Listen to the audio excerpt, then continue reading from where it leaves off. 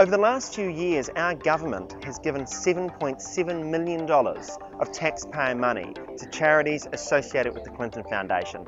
We're out here in Wellington asking people whether they'd be willing to part with their own money and give to the Clinton Foundation and what they think about taxpayers' money being used for the same.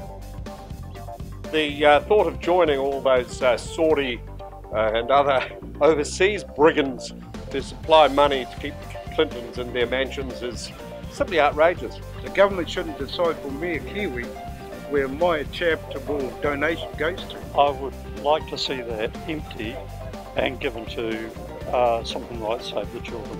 You know, they have a terrible track record. What they did with Haiti, um, all that money that was raised. It doesn't sound a good use of taxpayer money. And you can see that people of Haiti actually hate the Clintons. I think that there are better uses, definitely. There are, there are issues closer to the home that we should be helping out with first.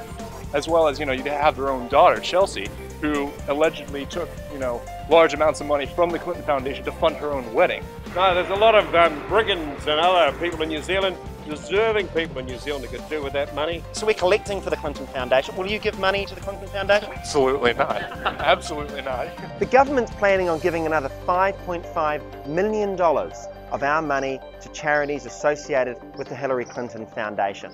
Sign our petition at taxpayers.org.nz calling for that funding to be vetoed and New Zealand aid money to be put to a better cause.